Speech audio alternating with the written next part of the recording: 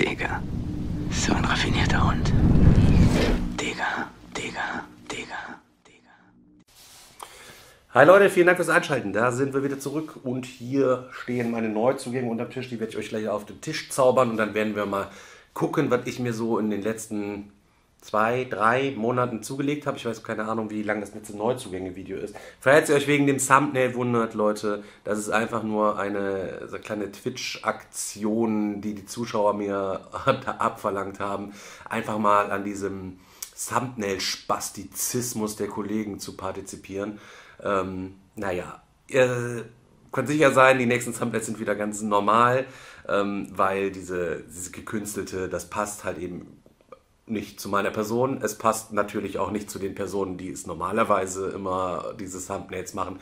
Aber gut, so ist das. So ist das, so ist das halt eben so. Hier gibt es so True School Sachen, deswegen True School Leute, ich habe hier einige Sachen gekauft. Kauft euch erstmal davon nichts, wenn ihr das Regal schon komplett voll habt. Das direkt mal komplett vorweg, Leute, weil ich habe die ganzen Sachen hier auch noch nicht gespielt. Ihr werdet die Problematik auf jeden Fall sicher im Laufe des Videos erahnen und deswegen fange ich einfach mal mit einer kleinen Kiste an, die mich persönlich gefreut hat. Ein Kickstarter, den wir auch im Kickstarter Talk vorgestellt hatten und der dann auf einmal total schnell da gewesen ist.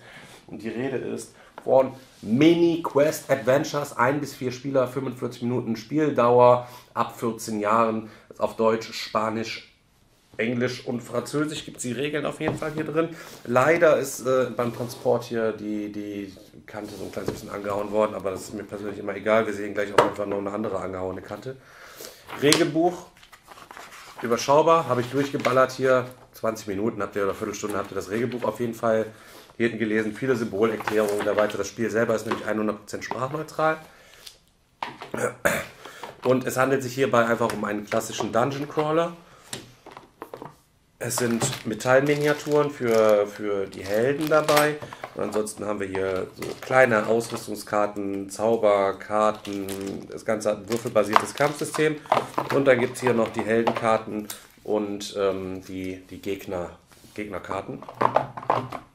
Standsbögen zum Ausbuttern, dann seht ihr ganz klassisch, habt ihr hier euer Equipment Sheet, da könnt ihr zwei Handwaffen, äh, also zwei Hände habt ihr zu belegen für irgendwelche Slots, zwei Rucksacktaschen, hier könnt ihr einen Runenstein ausrüsten und ähm, hier könnt ihr noch eine Rüstung rauspacken, hier packt ihr auch die Charakterkarte drauf und dann könnt ihr da ganz klassisch einfach so ein bisschen mit rum ähm, hantieren. Man, also eigentlich ist das Ding ein Rogue, Roguelike, also wenn ihr loszieht, fangt ihr immer auf billig an, kloppt euch dann durch verschiedene ähm, Adventure durch und hofft dann den Endboss zu besiegen. Wenn ihr verkackt, müsst ihr einfach dann nochmal neu anfangen.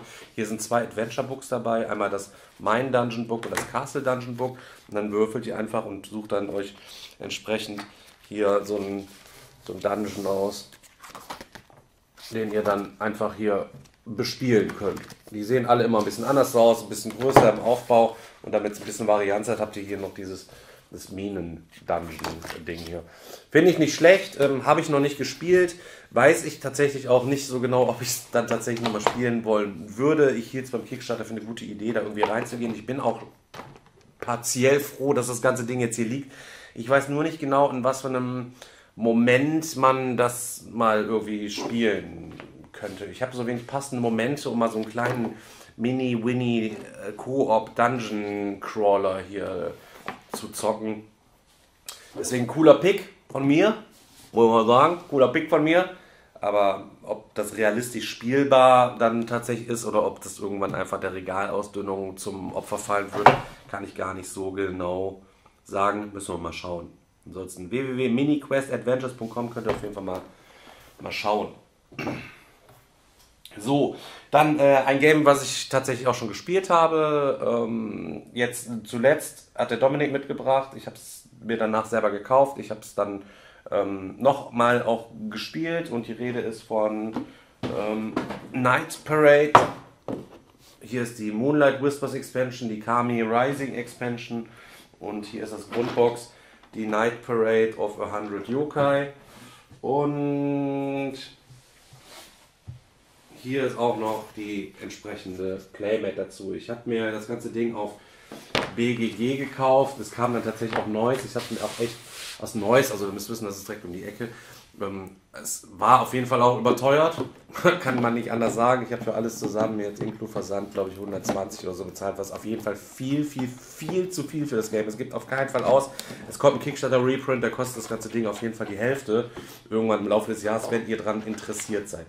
So, ich finde das Ding nice. Es ist aber auch nicht für jedermann dieses Geld wert. Also eigentlich ist es für niemanden dieses Geld wert. Ich bin einfach wieder nur eine absolute Hohlbirne. Aber wenn ihr Bock drauf habt, ihr kennt das, dann zieht ihr euch einfach mal Sachen jenseits von jeglicher Vernunft. Und das ist auf jeden Fall auch so ein Ding gewesen. Dafür ist es tatsächlich ein cooles Spiel mit coolen Artwork. Worum geht's?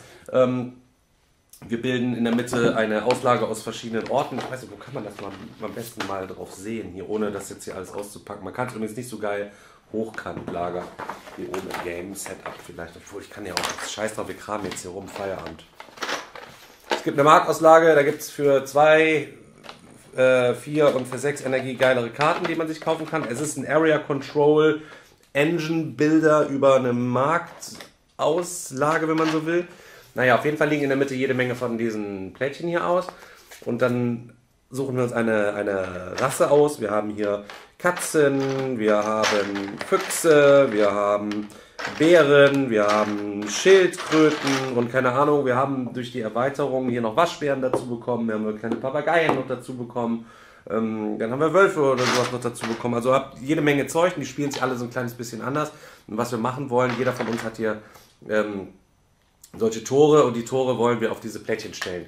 Das können wir immer nur machen, indem wir genug von unseren äh, Meeples dort drauf versammeln können. In dem Fall wird es oben links durch die Zeit indiziert, das heißt bei fünf Meepeln dürfen wir die abräumen und stellen ein Tor auf. Das ist dann quasi ein Wettrennen Area Control Racing Ding, wobei es dann so ist, dass jeder drei ähm, Slots hat. Er hat den Naturslot, er hat den, was ist das hier, was ist das andere hier noch?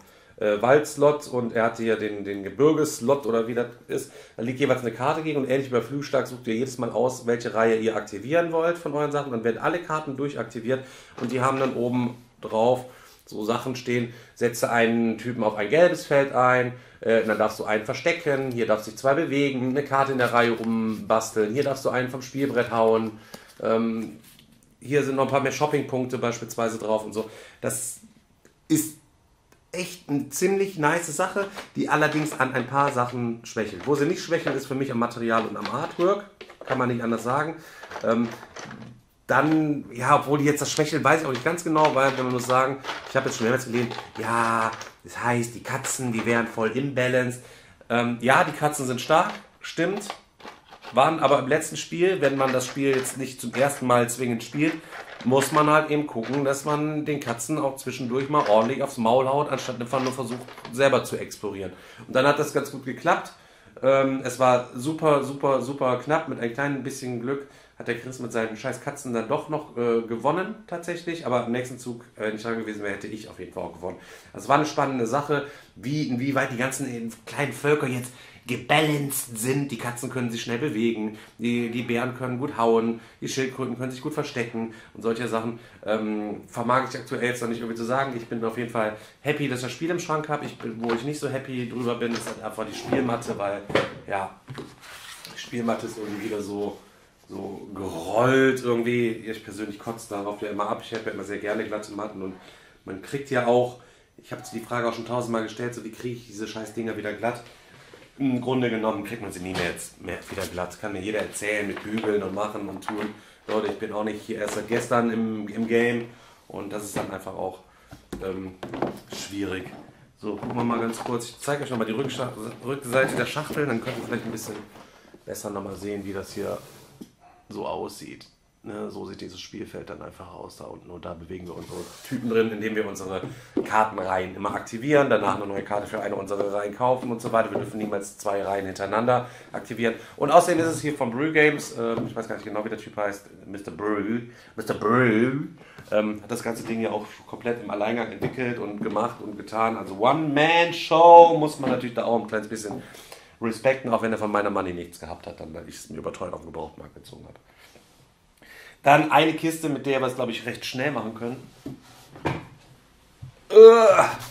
Ich habe mich in unserer Facebook-Gruppe mal wieder von euch breitschlagen lassen, heiß labern lassen und habe mir Oisia Torment of Resurrection in Deutsch geholt. Das Ding steht jetzt gute zwei Wochen, ein bis vier Spieler ab 14 Jahren, 30 bis 120 Minuten pro Spieler. Steht hier, es ist das Grundspiel. Es gab noch eine Deluxe-Kiste. Ich glaube, da war dann nochmal eine Box dabei mit Sortiercases und so. Ich habe jetzt wirklich nur dieses Ding geholt, weil das andere nicht erhältlich war. Und ihr seht, das ganze Teil ist noch in Folie und ich habe eigentlich auch wenig Böcke, das auszupacken. Ich mache es für euch aber jetzt trotzdem mal. Anscheinend hier gibt es eine optionale Oisia App auch. Also letztlich, das Ding hat mich damals im Kickstarter schon mega angesprochen, bin dann doch wieder raus. Dann kam es ja jetzt dort recht schnell und habe dann auch wieder Bock bekommen, weil mit Helden über die Karte laufen, Sachen leveln, Sachen collecten. Irgendwie ist ja eigentlich genau mein Ding. Boah, jetzt geht das aber echt schwer ab.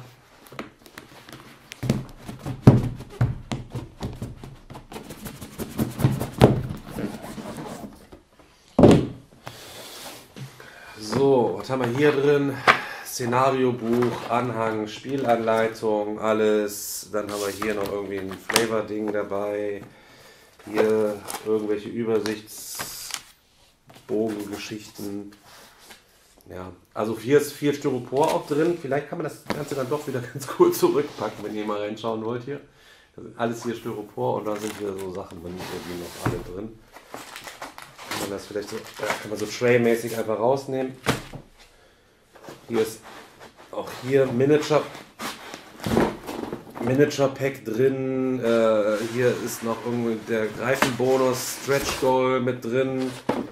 So, und unten kommen dann die Stanzbögen aus der Hölle. Erstmal hier die Charaktertableaus. Und dann kommen hier wirklich Stanzbögen aus der Hölle drin. Also, das sind alles Stanzbögen. So, und wenn ihr die Deluxe Box habt, dann habt ihr natürlich noch so Sortierhilfen und so weiter und so fort, die ich hier überhaupt gar nicht habe. Und dementsprechend, Real Talk, das Game soll ja ziemlich nice sein. Jetzt kriege ich die Scheiße nicht mehr rein. Das Game soll ja ziemlich nice sein. Wird bei mir wahrscheinlich einfach stumpf wieder ausziehen, weil ich keinen Bock habe, den ganzen Driss auszupöppeln und äh, zumal ich auch diese scheiß Sortierbox einfach nicht habe. So, und das ist dann auf jeden Fall Krise. Und dann muss ich mir das mal genauestens überlegen, ob ich da überhaupt Bock habe. Natürlich der Vorteil ist, dass das ganze Teil wieder auf Deutsch ist. Ähm, so ein Ewigkeitsding, was wahrscheinlich ewig im Regal stehen wird. Oder wenn man es anfängt zu zocken, man ewig an dem Ding dran rumzockt. Könnte ich mir auch vorstellen. Mal gucken. Es befindet sich aktuell noch in meinem Regal. Ich überlege aber auch, es abzugeben. Wieder. Aus äh, genannten Gründen. Wie gesagt, ansonsten ist das Ding hier einfach top und Schuss. Da ist auch kein Kratzer irgendwie groß am. Doch, sehe ich schon. Oben ist die Box. Hat außen eine Mini-Winnie, Mini-Winnie-Delle. Aber muss man auch mal dazu sagen, ey, keine Ahnung, es häuft sich in letzter Zeit immer mehr. Die Boxen werden immer voller. Und irgendwie kommen sie immer beschädigter an, weil sie dann noch mehr Stretch Goals reinpacken und dann einfach die Verpackung der Kisten nicht mehr unter Kontrolle haben. Also habe ich in letzter Zeit häufiger. Können wir direkt mal mit noch einem Kandidaten weitermachen, der mir neu eingezogen ist, auch Kickstarter, der angekommen ist. Und zwar Ayla and Something Shiny. Und da muss man nochmal hier wieder gucken. Ähm, die Box ist richtig gedamaged hier unten. Und da muss man auch dazu sagen, dass ich da kein Einzelfall bin, sondern die meisten Boxen beschädigt angekommen sind, weil es einfach verpackerisch scheiße gemacht worden ist. Ähm, jeder Bäcker kann nächstes Jahr sich einen kostenlosen Karton schicken lassen ohne Zuzahlung, was das aber auch wieder für den Verlag bedeutet, weil er verkackt hat, diese Deckel jetzt nachzuproduzieren, die zu verschicken. Ähm, ja, kann man sich ausmalen. Man konnte sich auf jeden Fall da aktuell melden und wenn man das möchte, mir ist es egal, ich werde da nicht extra jetzt nochmal auf fett ökologische Fußabdruck mir einen neuen Deckel bestellen, wenn die Sachen eh hier so seitlich drin stehen, da sieht man es ja auf jeden Fall auch nicht. Ihr erinnert euch, wir haben auch Kickstarter schon mal drüber gesprochen, Kickstarter Talk. Ich bin damals da eingestiegen. Und das ist eigentlich eine ganz nette, nette Kiste. Ich habe auch damals gesagt, ich bin mit Playmat drin, anscheinend bin ich ja nochmal noch mal raus. Letztlich ist es ein eines, zwei Spieler-Ding. Im Grunde genommen ist es ein Solospiel, was man aber zu zweit erleben kann. Es ist in mehrere Kapitel unterteilt, die kann man hier ganz gut sehen. Das sind die hier. Und der Spielplan ist immer unterteilt zwischen Zukunft, die liegen hier oben, ähm, dann ähm, Gegenwart und Vergangenheit sozusagen. Oder hier oben die Sin-Deck, hier ist die Zukunft. Und dann ziehen wir oben vom Szenendeck mal eine Karte, das wird am Anfang irgendwie gebaut. Wir haben ein Spielziel für jede Mission, die wir irgendwie erreichen müssen, wissen aber nicht genau, wie wir sie erreichen. So, und dann stehen immer zwei Sachen zur Auswahl. Ähm, ist super nett illustriert. Ich kann mal hier so ein Ding jetzt rausziehen. Von der Story her auch ganz nice gemacht, dass wir aus unserer, als kleine Hase Eile aus unserer Höhle irgendwie rausklettern und sehen dann oben auf dem Berg was glitzern und da müssen wir natürlich direkt hin, um zu gucken, was das irgendwie ist. Und die Karten sehen dann sehen dann immer so aus. Oben haben sie was Nettes draufstehen und unten haben sie dann, ich weiß nicht, ob die Kamera-Fokus das jetzt eingestellt hat, ähm, und dann zwei Auslagenmöglichkeiten. Ayla, don't you want to stroll around? The forest is full of surprises. Also wollen wir mit beim uns Wald ein bisschen umschauen. Ähm, dann fragt uns der große Baum, dann dürfen wir jetzt aussuchen. But I like it here with you, great tree. Dann kriegen wir ein Essen, weil wir dort mit dem Baum chillen und da Möhren pflücken. Oder wir gucken uns im Wald rum und dürfen dann Karte 6, wir haben dann in jedem Deck einen durchnummerierten Stapel, ähm, in die Zukunft legen. Und wenn das Deck durch ist, dann mischen wir das immer und dann kommen alle Karten der Zukunft wieder mit rein. Das heißt, alle Karten begegnen wir wieder, es sei denn, wir haben sie komplett abgehandelt, dann gehen sie in die Vergangenheit und sind damit raus aus dem Spiel. Ähm, für mich ein sehr nettes Spiel. Es ist kein, kein Überflieger, safe, also safe kein Überflieger. Ich habe es aber jetzt schon halb durchgespielt. Um, werde das mit Sven ja auch noch durchspielen und danach werde ich es verkaufen. Weil es eignet sich, glaube ich, eher dazu, wenn man Kinder hat, ähm, um so spielerisch eine, eine gute Nachtgeschichte denen zu erzählen. Dann kann man sich die Karten angucken. Was seht ihr da? Was möchtest du am liebsten machen? Glaube, da passt das noch eher hin, als dass es jetzt eine mega geile Unterwachsen, äh, Erwachsenenhaltung ist, weil es ja einfach nur dieses Multiple-Choice-Ding ist und wir das Deck dann anpassen und gucken, was dann passiert mechanisch interessant.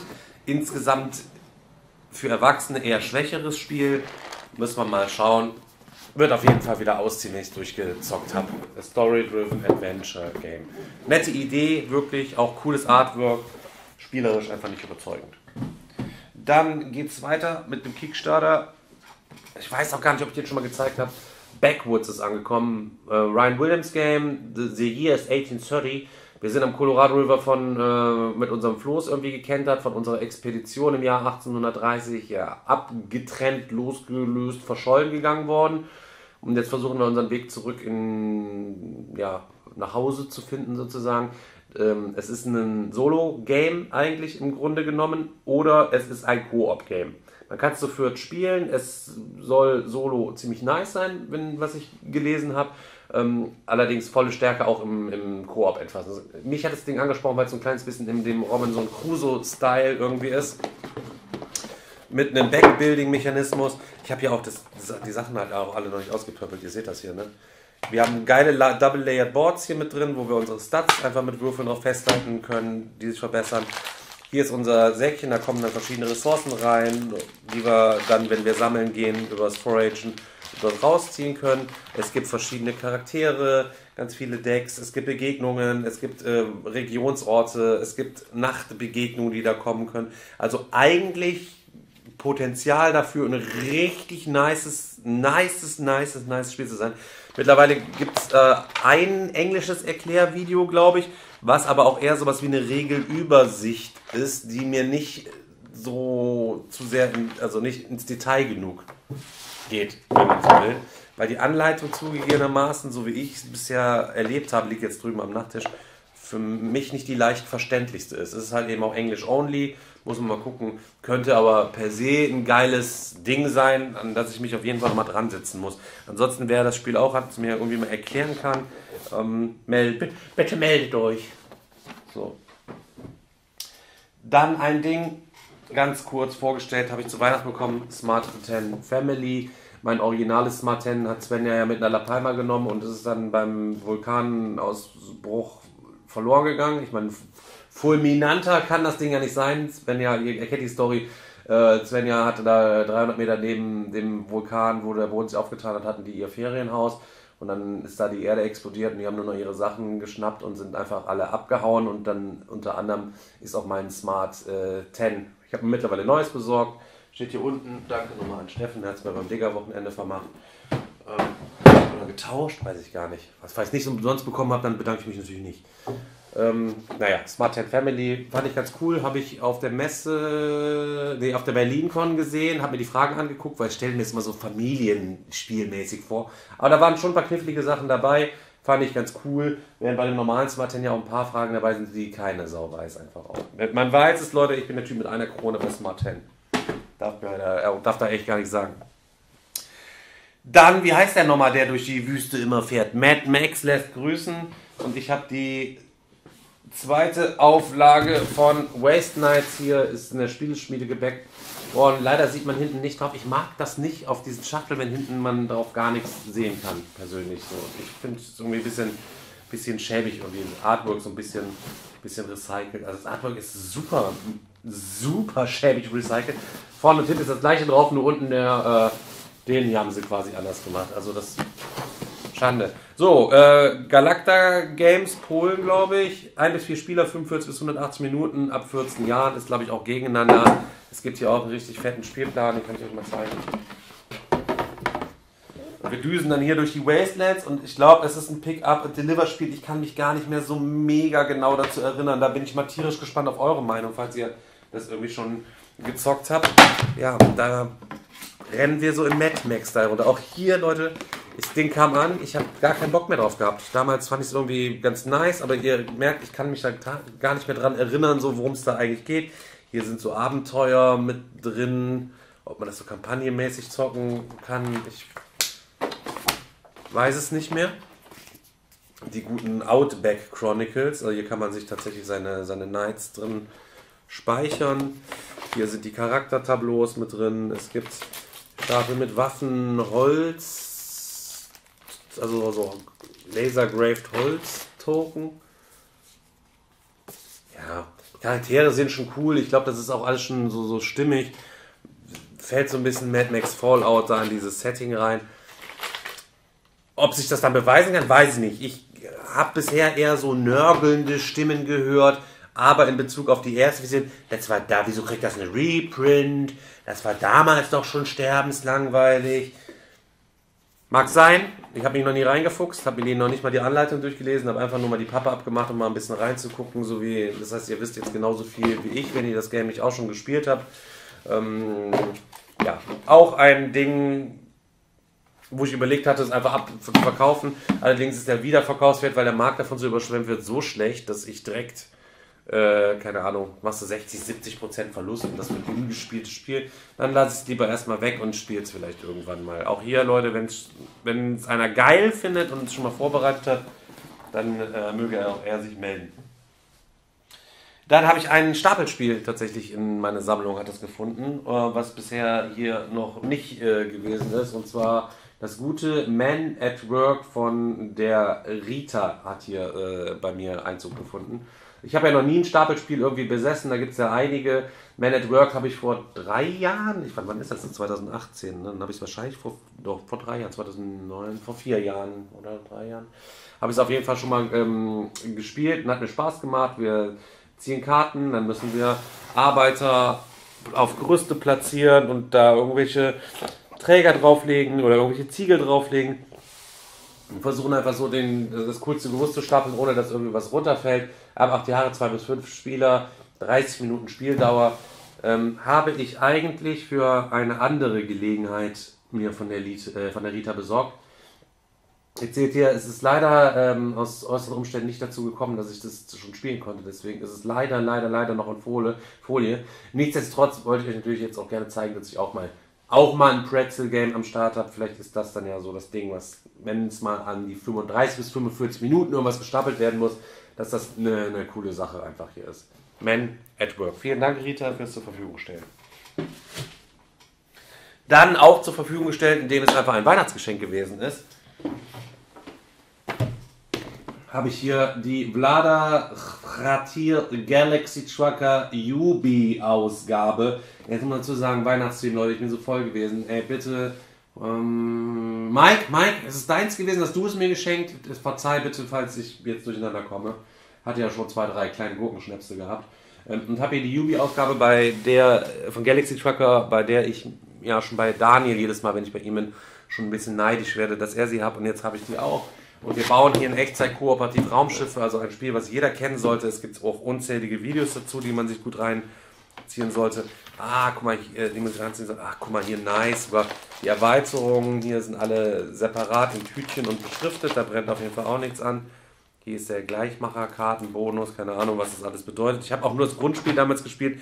Wir bauen kooperativ hier aus Plättchen einfach unsere Raumschiffe. Und danach geht's los. Und wir müssen mit denen sowas wie ein Wettrennen fliegen oder Sachen liefern. Und dann kommen immer tausend Gefahren, Kometen, die wir abschießen müssen. Und wenn dann einfach tragende, connect, äh, verbindende Teile unseres Raumschiffs abgetrennt werden, dann fällt die Bude auseinander. Lebt viel von Schadenfreude, ist ein Action, hat eine kleine Schwierigkeit beim Erklären, also unbedingt, wenn ihr es zockt, nicht mit allem Zirkus direkt einsteigen, sondern spielt erstmal nur das Grundspiel ohne sämtliche Spezialteile, kann ich euch nur empfehlen. Aber wirklich gutes Ding, wo ich mich schon immer um die Yubi-Ausgabe, die gibt es ja auch nur auf dem Gebrauchtmarkt, ähm, soweit ich weiß, rumgeschlichen habe. Bin ich jetzt froh, dass ich dank Mike, bist du es? Mir auf jeden Fall eine wenn man ein Regal gefunden hat, da wird es auf jeden Fall auch bleiben. So, dann gehen wir weiter. Wir haben noch drei Sachen. Wahrscheinlich haben wir da mehr. Ich habe eben vor meinem Regal gestanden und habe wieder nicht gewusst, was ich beim letzten Mal schon gezeigt habe. Und so muss, bin immer auch zu faul, das letzte Neuzugänge-Video reinzugucken. Und hier haben wir die Verteidigung von Procyon 3. Auch hier immer noch äh, unerklärlich. Das zieht sich halt durchs komplette Spiel, wie es niemandem auffallen kann, dass die Verteidigung dass da zwei Buchstaben einfach stumpf fehlen. Vorne, hinten, an den Seiten, auf dem Regelheft, überall ist die Verteidigung von Procyon 3 drauf. Beziehungsweise ich sage ja auch gerne mal Prosaikon 3. Ähm, worum geht's? Es ist ein 2 gegen 2 Spiele. Ihr wisst, ich mag eigentlich 2 gegen 2 Spiele. Es spielt nur nie einer 2 gegen 2 Spiele mit mir. Eins meiner liebsten 2 gegen 2 Spiele ist jetzt Cerebre hinten von äh, Mindclash. Und jetzt habe ich noch eins von David Turci, die Verteidigung von Procyon 3. 3. Ähm, ja, und da ist es so, es gibt zwei Spielpläne. Wir haben im Podcast auch schon ausführlich darüber gesprochen. Ähm, ich will das auch einfach mal kurz zeigen vielleicht. Einmal schnell reingucken. Auch hier, ich habe da noch gar nicht nichts mit gemacht, außer die Regelhefte mir mal rausgenommen. Es gibt für gibt nämlich fünf Regelhefte, eins äh, für die Übersicht und dann bekommt jeder Spieler noch eins, wo drauf steht, was er machen kann, weil alles ist asymmetrisch. Da spielen zwei Alien-Spieler gegen zwei Menschenspieler. Und zwar gibt es einen Boden, das ist alles hier unten noch, alles drin, alles noch im Geschrinkwrap, das bringt überhaupt nichts, wenn ich das raushole. Aber ihr seht, geile Minis mit dabei. Es gibt noch eine Erweiterung mit Minis, die habe ich auf jeden Fall auch hier mit am Start. Insgesamt habe ich dafür, ich glaube, 110 Euro bezahlt für das alles. Also wenn man für dieses Ding 110 und dann für äh, Night Parade dann noch mehr. Ich gucke meine Mutter nicht zu. So, deswegen bleibt auch echt eine Ausnahme. Ich werde wieder mal, habe ich die Woche über gesessen und gesagt, eine, kauf weniger Sachen. Kauf weniger Sachen. Sei nicht so dumm wie Sven 7 und gib dein Geld aus für Scheiße, die, die du ins Regal stellst, die du niemals mehr spielst. Also auch hier versuche ich immer noch an mir zu arbeiten, ähm, mein Regal zu veredeln. Manche Sachen ist schwer, die auszuziehen, da müssen noch ein paar Digger-Wochenenden stattfinden, damit die weggewichtet werden können.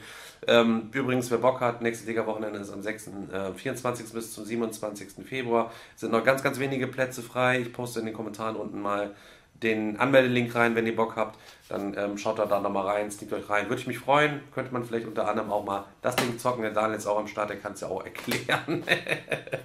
die Verteilung von Procyon 3. Genau, zwei Menschen gegen zwei ähm, Aliens. Einmal Bodenspielplan, einmal der Spielplan im Orbit. Die einen beiden spielen gegeneinander im Orbit, die anderen spielen auf der Erde gegeneinander. Und zusätzlich haben die auch so Ressourcen, die die beiden verbinden, sodass du dich immer mit deinem Nebentypen ab sprechen muss. Beim letzten Digger-Wochenende hat Chris äh, und Daniel es mit, ich weiß gar nicht genau mit wem nochmal gespielt. Und ich muss sagen, ich habe nur kurz geguckt, hängen geblieben. Ey, hab mir bei jedem mal kurz so seine, seine Regelübersicht hier durchgelesen so und dann habe ich gedacht, Alter, wie geil, also was ist das für ein geiles Spiel. Und dann, obwohl Daniel es dann hat, hatte ich dann so ein bisschen Angst, dass ich es irgendwann nicht hab und hab's mir dann geholt. Also ich habe da eine Stunde gegessen. Ich wollte nur kurz gucken und habe dann eine Stunde oder knappe Stunde gesessen und habe mitgebrannt bei dem Spiel, obwohl ich noch nicht mal mitgespielt habe. Also so spannend ist das gewesen. Und jede Aktion, kam mir total heftig vor und dann denke ich, boah, heftig, das hat er nicht gemacht, hat er nicht gemacht. Was machen wir jetzt? Jetzt überlegen wir uns das und ich muss die Forscher noch retten und äh, Chris dann so, hey, ich brauche die Dinger selber hier, ich kann keine Forscher retten, ich muss hier wieder irgendwelche Minen legen und weiß ja, also krankes Ding, 135 äh, Minuten Spieldauer. Könnte durchaus sein, dass es tatsächlich Daniels Highlight 2022 werden könnte. Chris findet es auch absolut heftig. Ich habe über dieses Spiel noch nichts, also 0,0 Schlechtes gehört, außer dass diese verkackte Schachtel, dass da einfach der, der Name falsch draufsteht. Keine Ahnung, wie sowas passieren kann. Menschliche Kolonisten auf Procyon 3 haben ein uraltes außerirdisches Artefakt ausgegraben. Die Ätien, eine außerirdische Spezies, greift die Verteidigungsanlagen der Siedler an und versuchen den uralten Terror zu stoppen, den die Menschen womöglich unwissentlich geweckt haben. Schon bald kommt es zu einer Schlacht im Raum des Planeten, als die UN ihre Flotte schickt, um die Kolonie zu befreien. Während Wissenschaftler daran arbeiten, die Kommunikation der Außerirdischen zu erschlüsseln und ihren neu entdeckten Feind zu verstehen. 121 detailreiche Miniaturen, zwei Spielpläne, die Menschen verteidigen sich gegen eindringende Aliens auf der Oberfläche und im Weltall. Hochgradig mit Spielsystem mit geringem Zufallsfaktor stimmt tatsächlich, welches aus vier verschiedenen kartenbasierten Strategiespielen besteht, könnt ihr kompetitiv und kooperativ spielen. In maximal 10 Runden versucht jede Seite den Sieg in dieser bisher unbedeutenden Ecke der Galaxie zu erringen. Heftiges Ding. Heftig, heftig, heftiges Ding. So, mal zur Seite das heftige Ding. Dann haben wir noch zwei Sachen. Erstmal vielen Dank an Dominik, auch Weihnachtsgeschenk gewesen. Ähm, ja, vielen Dank auch noch in Folie. Der Taubertal Express, die prosperierende Eisenbahnstadt Lauda, Anfang des 20. Jahrhunderts. Die Spieler schlüpfen die Rollen von Eisenbahnpionieren und Baumeistern. Sie befördern berühmte Passagiere der Zeitgeschichte und erschließen im gesamten Taubertal in der weiten Umgebung zahlreiche Wirtschafts- und Bahngebäude. Dabei gewinnen die Spieler mit dem Ausbau der Eisenbahnstadt Lauda zunehmend Einfluss. Äh, Volldampf voraus, jetzt wird es höchste Eisenbahn. Also wenn da muss man schon sagen, nice, ähm, dass das Ding tatsächlich noch erschienen ist. Äh, ich fand es auch ziemlich witzig, wie der Autor sich bei Seltschuk immer Ratschläge holen wollte und er wollte auch, dass wir das Spiel testen oder Selchuk es testet, bevor es rauskommt, seine Rückmeldung gibt und hätte natürlich auch gerne gehabt, dass, es mal, dass wir es halt eben gezeigt hätten. So, aber ich habe auch gesagt, so das macht gar keinen Sinn, also ehrlich nicht. Also der hat das auf Ehrenbruderbasis für die Stadt Lauda Königshofen gemacht so und äh, auf Ehrenbruderbasis mache ich auf jeden Fall nichts für Stadt Lauda Königshofen und Selchuk auch nicht. Dementsprechend ähm, ja, habe Selchuk eins zugeschickt bekommen. Ich habe meins von Dominik jetzt geschickt bekommen. Selchuk hat es als scheiße bewertet. Und jetzt steht es halt eher und ja, ist halt laut Selchuks Aussage scheiße, was natürlich eine, eine Hürde ist, dass ich jetzt mal rankomme und das Ding mir jetzt lerne und dann das auch irgendwie mal peitschen würde. Also das wird höchstwahrscheinlich nicht passieren. Das ist natürlich ein bisschen schade drum. Ähm, ja, hat Selchuk mir vorweggenommen. Was waren Selchuks Negativpunkte an dem Spiel? Grundsätzlich wurde versucht, bei dem Spiel an alles zu denken. Die Anleitung zu lesen macht mega Bock. Alles ist auch leicht verständlich. Und dann fängst du an und dann sind es irgendwie 17 Phasen in 17 Unterteilungen mit 10,7 Unterpunkten, die man dann jedes Mal abarbeiten. Er sagt, es war dann einfach ein Krampf, dass in jeder Phase so, so kleine, kleine Wichskacke da die ganze Zeit machen musstest. Und das ist dann ja, ein bisschen schade gewesen, deswegen der Taubertal Express ungespielt bei mir schon durchgefallen. Da verlasse ich mich auch auf Selchuks, Selchuks Meinung. Nichtsdestotrotz vielen Dank fürs Geschenk, Dominik. Werden wir vielleicht mal für einen guten Zweck oder so, werden wir es dann mal raushauen. So, dann habe ich hier noch eine fette, äh, fette Kiste. Da spare ich mir jetzt auf jeden Fall die Playmat. Einmal noch. Und zwar ist bei mir auch, ach, die ist auch nichts drin, das ist ja voll leicht. Bei mir ist auch Etherfields angekommen. Letztens Leute, Etherfields, hatte ich mich ja auch mega drauf gefreut. Und dann muss ich sagen, ähm, irgendjemand schrieb, ey, ist dein Etherfields schon da? Und ich so, nee, mein Etherfields ist noch nicht da. Ich drehe mich so um. Ach doch, doch, stimmt. Stimmt. Es steht da ja unten schon seit vier Wochen. Ähm, hab mich an die Anleitung gesetzt. Auch hier würde ich mir natürlich gerne, würde ich mir wünschen, dass da jemand am Start ist, der mir die, ach, das steht ja verkehrt herum, der mir die Anleitung äh, oder das Spiel mal erklärt, das irgendwie mit mir spielt. Also das fände ich auf jeden Fall tausendmal angenehmer. Ich habe momentan nicht so viel Bock auf Anleitung lesen. Dann haben wir hier noch die Fifth Player Expansion mit dabei. Ich bin da ja all in gegangen. Da kommt ja auch noch mal eine zweite Wave. Frag mich nie, wann die kommt. Erst muss die zweite Tainted Rail Wave mit ja noch mehr kommen. Hier sind äh, die Miniaturen. Heieiei, Leute, da ist der Akku ausgegangen. Ähm, deswegen kurz aufgeladen, kaum noch Zeit am Start. Auf jeden Fall Etherfields, dickes Ding, hier eingezogen. Im Wesentlichen aktuell schon noch Bock drauf, aber auch hier einfach die Regeln einfach viel zu überschlagen. Ich bin auf jeden Fall das klassische Beispiel davon, ähm, wenn ihr mal schaut, wie die Neuzugänge in der Vergangenheit ausgesehen haben, dass ich immer anfange, immer weniger zu kaufen, immer weniger zu kaufen, immer weniger zu kaufen, immer gewählter irgendwie zu kaufen. Und vielleicht gibt es ja irgendwann nochmal die Hoffnung, dass ich tatsächlich ein ganz normaler Brettspielkäufer werde, ohne mir ständig irgendwelche Kickstarter zu ziehen oder mich belabern zu lassen und äh, die ein oder anderen Dinger mir da irgendwie klar zu machen. Ist schwierig. Ich habe tatsächlich heute diesen Monat einen starken Spielemonat, habe wieder einige Sachen auf den Zettel, die eventuell einziehen könnten. Ähm, da müsst ihr euch jetzt einfach mal gedulden und ich muss mir erstmal noch meine Finanzen ein kleines bisschen prüfen.